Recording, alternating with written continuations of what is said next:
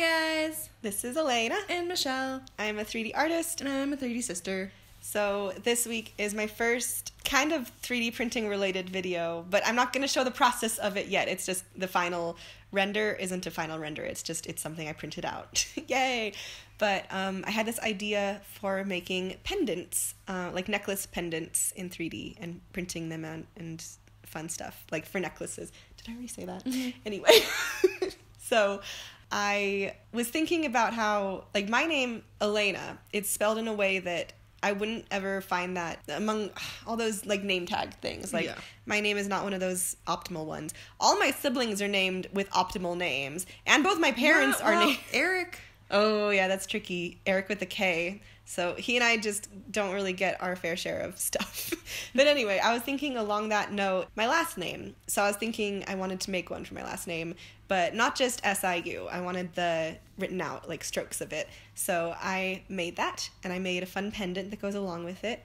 And the thing with Siu is that it has a few different translations, and uh, one of them is dawn, like sunrise. So I did a couple of designs that incorporate the sun. And something fun that I learned about 3D printing and all the like slicing software that you have to put your model through before it can print is that those programs don't care about your topology. So it's like usually I try to make everything connect all nicely and make everything flow, like all the geometry go in a nice way. But with this, I just I made the shapes I liked and then I don't know if you call it a function or a tool, but it's like Boolean. If you overlap two different meshes and you, like choose union or difference or whatever, then it'll like chop out that space from like the second mesh you select. It'll make more sense when it happens on screen. I don't know why I'm talking about this. So you like inverted it, made the shapes, and instead of putting it on, you took it off. yes. Yeah. Okay. Yes, yes, yes. Oh my gosh. In the future, so this was from maybe a month and a half ago, this footage. Um, but it was a good like first experiment for 3D printing to make because it's a small amount of, of stuff to print, so I wasn't wasting a bunch of resin trying to figure all this out.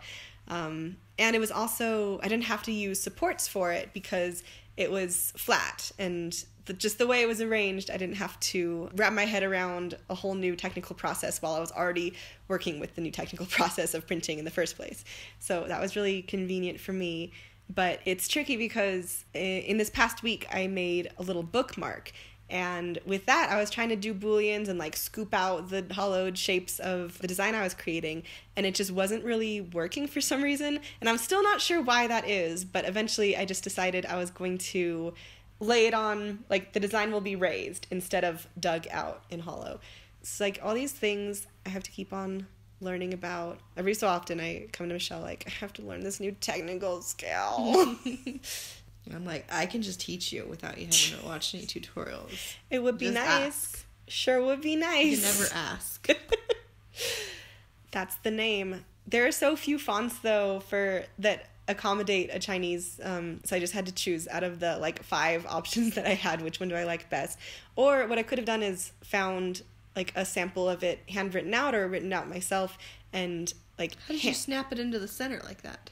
um by snapping it. I feel like you often do that. How did you make that thing do this? I just did the do this button. yeah, I mean it's an intelligent program. yeah, this one was good. I made a second one and I think it printed all right by the end and like I can show the final look for the second pendant, but I like this one most of all. Like this one just it worked out. Gosh, it was embarrassing though because I wanted all these pendants to be like I got a spray paint and I spray painted ta-da! Ooh. I painted them gold, but and like I have a gas mask to deal with the alcohol that is used to clean the resin after you're done printing. And like you don't want to breathe that type of alcohol in, and you don't even really want to breathe the resin in. If there there are fumes and stuff. So like I had a gas mask available to me, but when I was spray painting these pendants afterward, I felt too embarrassed. Like I was in the front yard area, and our neighbors were outside, and I was just like, they're gonna see me being such a weirdo. like I can't bring shame on this family by acting like I'm it's apocalypse. I don't know. so um so I just I was outside and spray painting without a gas mask even though I have one. It felt so unhealthy. Dishonor on you, dishonor on your cow. Dishonor on my gas mask. But yeah, in the future, I think I'm just gonna just gonna be good about it. Just gonna wear the gas mask and be embarrassed. Mm-hmm. I'll just be that weirdo. It's not like we talked to those neighbors. It's the ones directly across from us. It's not like they would say like, "Hey, there was someone there who had a gas mask. Are you aware of this?" Yeah, that's my sister. She's being safe. Thank you very much. He's our nice neighbor. He plowed our driveway. He plowed the whole street. Whoa. He's a nice guy. I feel like he doesn't consistently wave to the kids when we, when they wave at him though. Hmm. It's a big issue. Oh my. We're meaning to send him a letter about it. Yowza. And he has a child or maybe children of his own. we don't know. Sure. See, like offhand, I really thought that he, there were like multiple boys who lived in this house across the street because it seemed like I saw so many of them and there was just a bunch. But then Michelle was like, "There's just one child there, like just that mm-hmm. one boy," and I believed her because it's like, yeah, I don't think I've ever seen any of them at the same time. So I it's like one boy who was wearing different clothes, and I just have some facial blindness. But then later, I saw two boys at the same time. so it's like there might have been a friend visiting, or I don't know, maybe a cousin. Maybe there was just some Oh. visitors. I don't know. Because I don't know if I've seen two boys at the same time since then. Yeah. Just that one day. It's a mystery. It's very important. We should just go over and ask. How many children live here? Just asking for a friend. we are conducting a census of the neighborhood.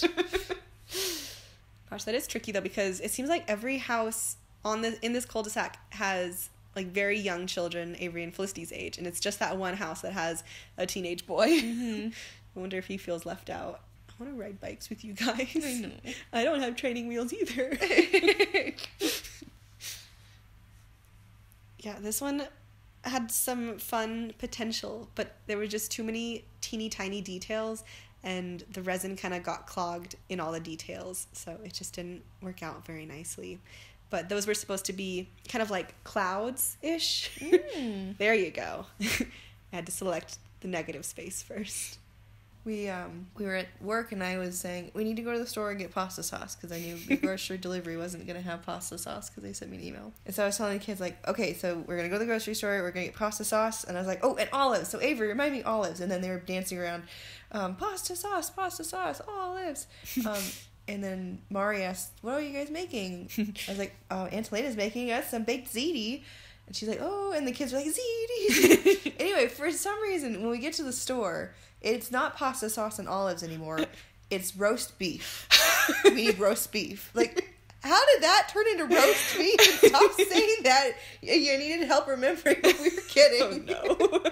Not really, because it's just two things, but it's just still, I was like, Cute. I don't know where your ma- your brain switched over. Roast.